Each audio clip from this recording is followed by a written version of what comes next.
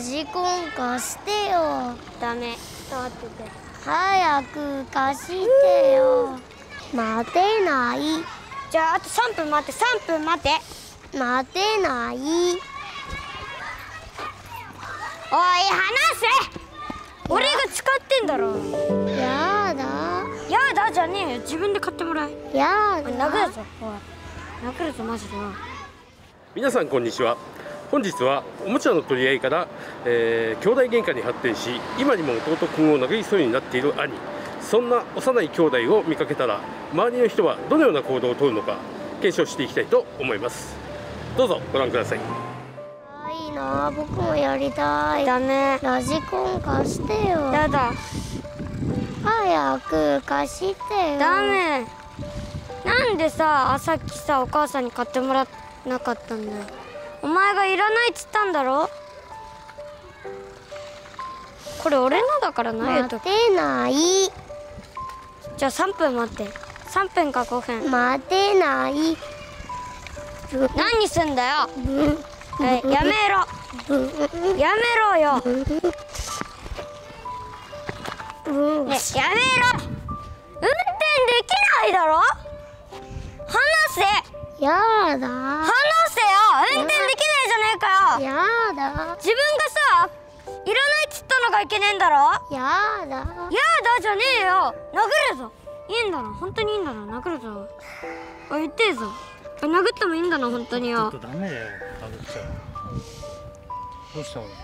こいつがささっきこれお母さんに買ってもらったのにさうん。さっきいらないっつったからうん。買ってもらわなかったのに今なさうん。貸してよ貸して。うるせえだってお兄ちゃんが貸してくれないんだもん。自分がさうん。いらないっつったのが悪いんだろ？自分がいらないっつったのが悪いんだからさ自分でさかん勘弁しろよ。でも兄弟だからさ仲良くね助け合いながらさね交換交換かでやっていこう、うん、でもこれ俺のなん。だよでもね殴ろうとしちゃダメなの。暴力はねお兄ちゃんの言ってることもすごいわかる。で弟くんもあのね貸して貸してしつこく言っちゃダメ。二人ともわかるんだけどダメなのね。お兄さんも昔結構お兄ちゃんと喧嘩して、まあ、嫌な思いしたことあるから二人にはなんかそういうことをしてほしくない。だから仲良くしよう。仲直りして。分かった？次から買ってもらえよ。いらないって言うなよ。分かったな。じゃあ仲良くね。いらないって言うなよ。どっち曲がるのまたね。シェイ。イエーイ。あ。ほらおりゃ。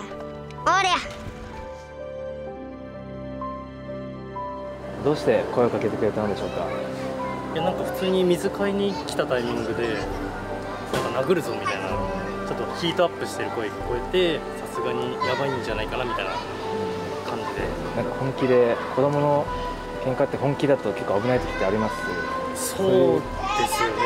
ことで止めてくれたっていう感じですそうですね。なんか最初はもうじゃれ合ってるのかなと思ってたんですけどさすがにこう手上げ始めたんでこれまずいってことで、まあ僕も昔なんか兄とよくしょっちゅう喧嘩して一生残る傷が背中に残っちゃったのでそういう風にはなってほしくないなと思ってつい声かけちゃいましたじゃあ子供の喧嘩ってあんまり良くないですねうんいやでも子供の喧嘩はなんかちっちゃい頃にいっぱいした方が成長にもなると思うのであんまそこは反対はしないんですけどさすがにこう暴力ってなると良くないと思うんでまあ平和にこう解決できれば一番いいですけどね。ほどほどに喧嘩するぐらいっていう。そうですね。なるほど。にが一番いいと思います。なるほど。わかりました。ありがとうございます。あいいな僕もやりたい。ちょっと待っラジてコン貸してよ。ちょっと待ってね。早く貸してよ。あと3分くらい。待っててね。お。ういやあ待てない。うん。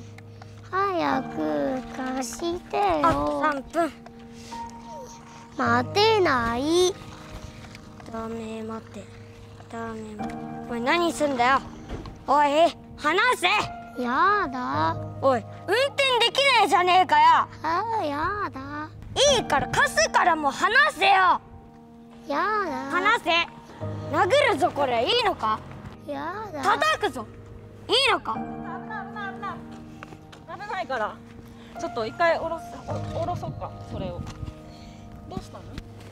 こいつがさ貸しやりたいやりたいうるせえからさちょっと待ってっつってんのにさ急にとだってお兄ちゃんが貸してくれないんだもん。自分がいけないんだろ。分かった。分かった。でも今さっきこれ手に持ってるものを弟ちゃん投げようとしたでしょ？もしこれが弟ちゃんに当たったらどうなるそれは怪我する怪我しちゃうよね。お兄ちゃんは弟より体も年も大きいんだからそんなままいいお兄ちゃんにならないと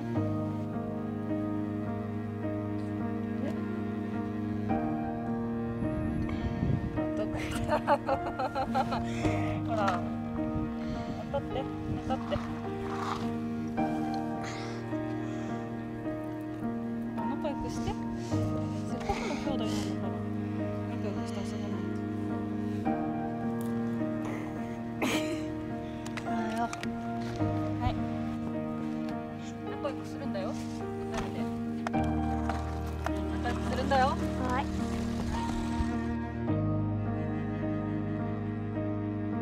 して声をかけようと思ったんですか？あぶつけるぞって声が聞こえてで見てみたら弟ちゃんが危なさそうだったのでつい行動しちゃってました。うんなるほど。なんか行動考えるより先に行動が勝ったって感じですかね？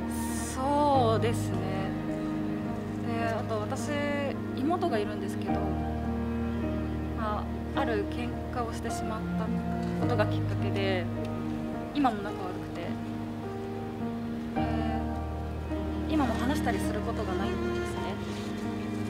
なので、まあ、私みたいになってほしくないなっていう部分もあったのでつい声をかけてしまいました。なるほど、はい。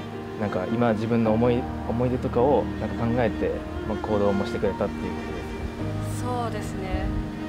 もう妹と話す話すことができないその辛さを知ってるので本当に本当に皆さんあの家族だったり友達だったり常に仲良く大事にしてほしいなとは思います、ななるほど。なんか僕も家族大事にしようと思います、はい、ありがとうございました。ありがとうございます